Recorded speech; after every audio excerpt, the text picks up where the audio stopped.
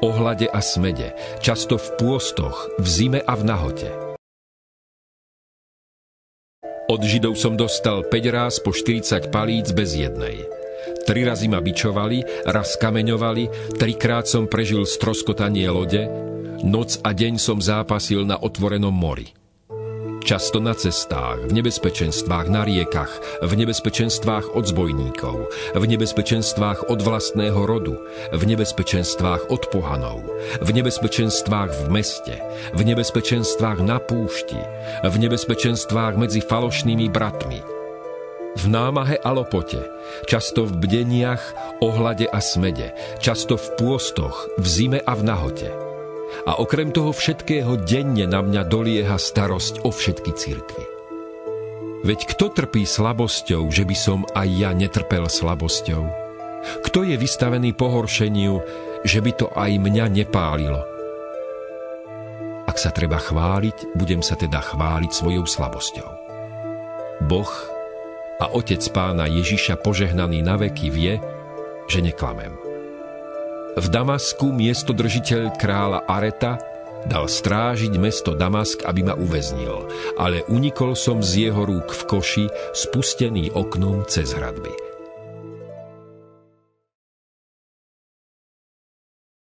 Ale tento druh nevychádza iba modlitbou a pôstom. A keď prišli k zástupu, pristúpil k nemu človek, ktorý sa mu klaňal, padnúc na kolená a hovoril – Pane, zmiluj sa nad mojím synom, lebo je námesačník a hrozne trpí, lebo často padáva do ohňa a často do vody. A priviedol som ho k tvojim učeníkom, ale ho nemohli uzdraviť. A Ježiš odpovedal a riekol, O pokolenie neveriace a prevrátené, dokedy budem s vami, dokedy vás ponesiem, dovete mi ho sem. A Ježiš ho pokarhal a démon hneď vyšiel z neho a mládenec bol uzdravený od tej hodiny. Vtedy pristúpili učeníci k Ježišovi osobitne a povedali, prečo sme ho my nemohli vyhnať? A on im povedal, pre vašu neveru. Lebo ameň vám hovorím, keby ste mali vieru ako horčičné zrno, poviete tomuto vrchu, prejdi odtiaľto tam hen a prejde a nič vám nebude nemožným ale tento druh nevychádza iba modlitbou a pôstom. Príde však čas, keď im vezmú ženícha a vtedy v ten deň sa budú postiť. Jánovi učeníci a farizei sa postili. Niektorí prichádzali za ním s otázkou Prečo sa Jánovi učeníci i učeníci farizejov postia, a tvoji učeníci sa nepostia. Ježiš im riekol, Môžu sa azda svadobní hostia na svadbe postiť v prítomnosti ženícha? Kým je ženích s nimi, nemôžu sa postiť. Príde však čas, keď im vezmú ženícha a vtedy v ten deň sa budú postiť. On im však povedal, Ja mám na jedenie pokrm, o ktorom vy neviete. Medzi tým ho učeníci prosili, Rabi, jedz. On im však povedal, Ja mám na jedenie pokrm, o ktorom vy neviete. Tu si hovorili učeníci medzi sebou. Vary mu niekto priniesol jesť? Ježiš im riekol.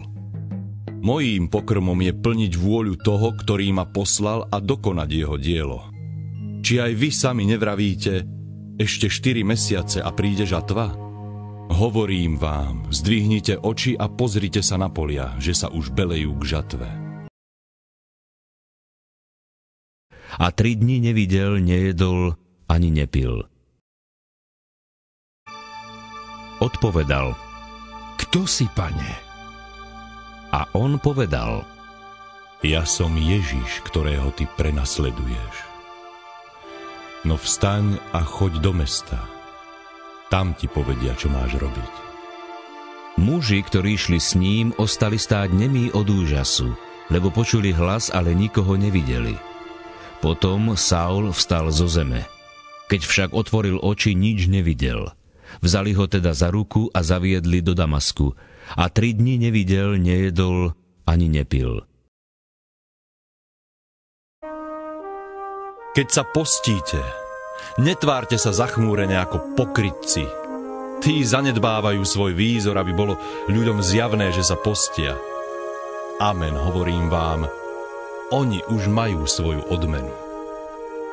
Keď sa však ty postíš, natri si hlavu olejom a tvár si umy, aby nie ľudia videli, že sa postíš, ale tvoj otec, ktorý je v skrytosti a tvoj otec, ktorý vidí aj to, čo je v skrytosti, ti odplatí. Potom sa postili a modlili a keď vložili na nich ruky, prepustili ich. V antiochískej cirkvi boli prorokmi a učiteľmi Barnabáš, Simeon, ktorému hovorili Niger, Lucius z Kyrény, Manaén, ktorý v detstve rástol spolu s tetrarchom Herodesom a Saul. Keď slúžili pánovi a postili sa, povedal im duch svetý. Oddelte mi Barnabáša a Saula pre dielo, na ktoré som ich povolal. Potom sa postili a modlili a keď vložili na nich ruky, prepustili ich. Oni, vyslaní Duchom Svetým, prišli do Seleukie a odtiaľ sa preplavili na Cyprus. Keď prišli do Salamíny, hlásali Božie slovo v židovských synagógach. Ako pomocníka mali so sebou aj Jána. Keď prešli cez celý ostrov až do Pafu, našli tam istého čarodejníka a falošného proroka. Bol to Žid menom Bariesus. Zdržiaval sa u prokonzula Sergia Paula, rozumného muža, ten si pozval Barnabáša a Saula, lebo túžil počuť Božie slovo. Ale Elimas, čarodejník, tak totiž znie v preklade jeho meno, im odporoval a usiloval sa odvrátiť prokonzula od viery. Vtedy Saul, ktorý sa volal aj Pavel, naplnený Duchom Svetým, uprel na ňoho zrak a povedal Diablov syn, plný každej podlosti a každej falše, nepriateľ akejkoľvek spravodlivosti – Ty neprestaneš prevracať priame cesty pánové. A teraz pozri, doľahne na teba pánova ruka. Oslepneš a istý čas nebudeš vidieť slnko. V tom na Elima sa padla mrákota a tma. Tápal vôkol seba a hľadal, kto by ho viedol za ruku. Keď prokonzul videl, čo sa stalo, žasol nad pánovým mučením a uveril – kladením rúk, v modlitbách a pôstoch ich zverili pánovi, v ktorého uverili. Keď aj tomuto mestu priniesli evanílium a získali v ňom značný počet učeníkov, vrátili sa do Listry, Ikónie a Antiochie. Tam učeníkov posilňovali na duchu a povzbudzovali ich, aby vytrvali vo viere. Pripomínali, že do Božieho kráľovstva treba nám vojsť cez mnohé súženia – a keď v jednotlivých cirkvách ustanovili starších kladením rúk, v modlitbách a pôstoch ich zverili pánovi, v ktorého uverili. Potom prešli Pisídiou a prišli do Pamfílie. Hlásali slovo v Perge, zišli do Atálie a stadiaľ sa odplavili do Antiochie, z ktorej predtým vyšli a kde ich poručili do Božej milosti pre dielo, ktoré práve splnili. Vodne v noci slúžila Bohu pôstom a modlitbami.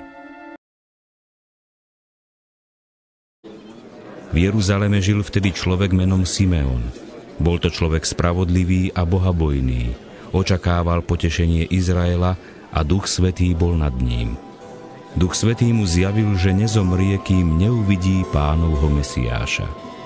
Z vnúknutia ducha prišiel do chrámu. A keď rodičia prinášali dieťa Ježiša, aby pri ňom splnili, čo bolo zvykom podľa zákona, vzal si dieťa aj on do náručia a velebil Boha slovami.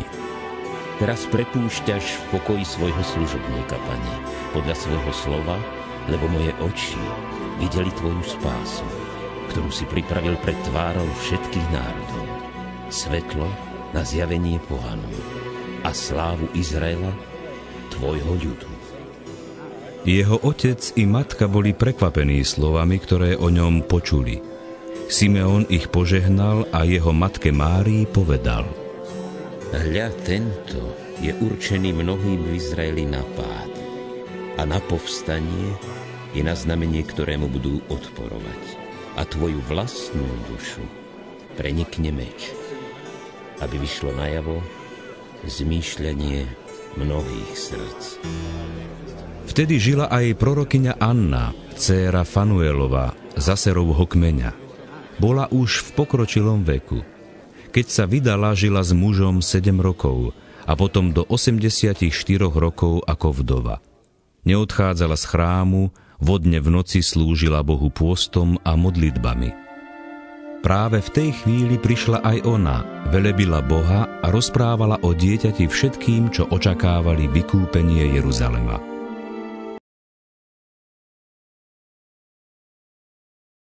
Postím sa dva razy do týždňa, dávam desiatky zo všetkého, čo získam.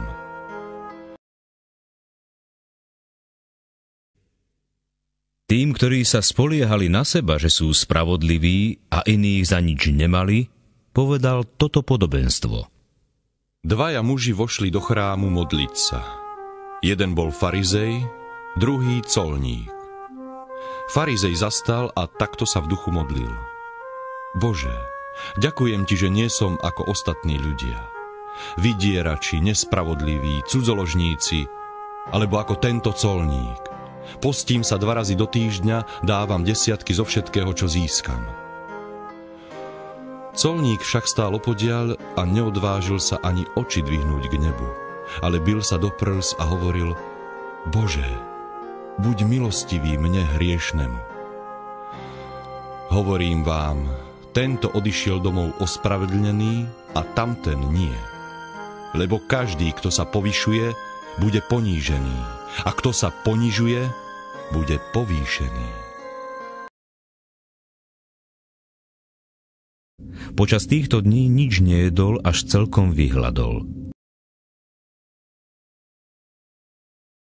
Ježiš sa vrátil od Jordánu plný Ducha Svetého – Duch ho vodil 40 dní po púšti a diabol ho pokúšal. Počas týchto dní nič nejedol, až celkom vyhľadol. Vtedy mu diabol povedal Ak si Boží syn, povedz tomuto kameňu, aby sa stal chlebom. Ježiš mu odpovedal Je napísané, že človek nebude žiť iba z chleba, potom ho diabol vyviedol na vysoký vrch, ukázal mu v okamihu všetky kráľovstvá sveta a povedal Tebe dám všetku túto moc a slávu, lebo patrí mne a dám ju tomu, komu chcem. Ak sa mi teda pokloníš, to všetko bude tvoje. Ježiš mu odpovedal Je napísané, pánovi svojmu Bohu sa budeš klaňať a len jemu budeš slúžiť. Potom ho zaviedol do Jeruzalema. Tam ho postavil na chrámové cimburie a hovoril mu. Ak si Boží syn, skoč to. Veď je napísané, svojim anielom prikáže o tebe, aby ťa chránili. A oni ťa vezmú na ruky, aby si si neudrel nohu o kameň. Ježiš mu odpovedal. Je povedané, nebudeš pokúšať pána svojho Boha. Keď diabol ukončil celé pokúšanie, odišiel na čas od neho –